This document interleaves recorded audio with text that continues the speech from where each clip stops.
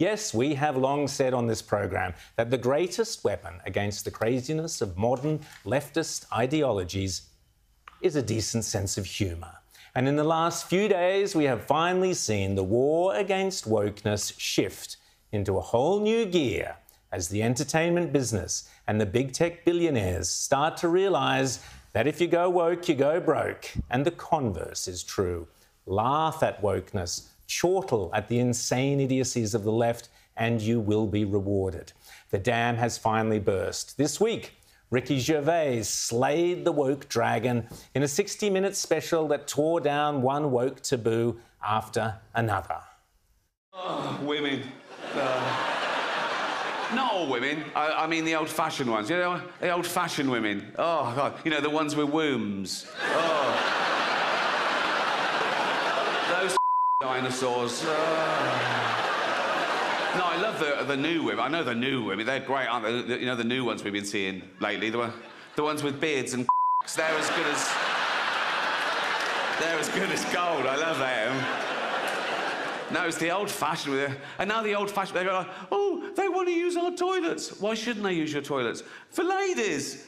They are ladies. Look at their pronouns.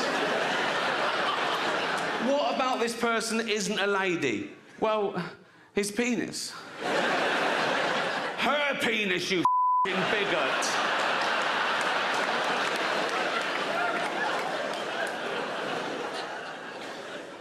What if he rapes me? What if she rapes you?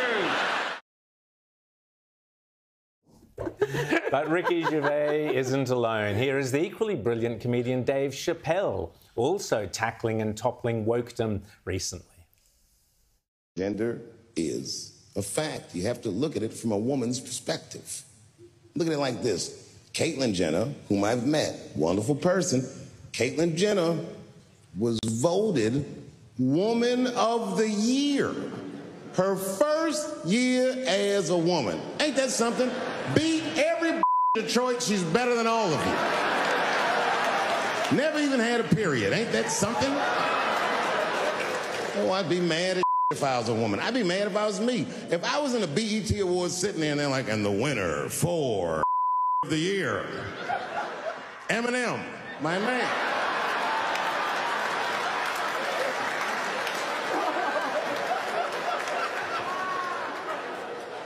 Gender is a fact. This is a fact. Every human being in this room, every human being on earth had to pass through the legs of a woman to be on earth. That is a fact. So, if you missed uh, Dave Chappelle's gag there, he was basically saying that uh, if there was an award for the best African American rapper, uh, and it went to Eminem, who is, of course, a uh, non African American rapper, uh, he would be as perturbed as all women should be at Caitlyn Jenner's.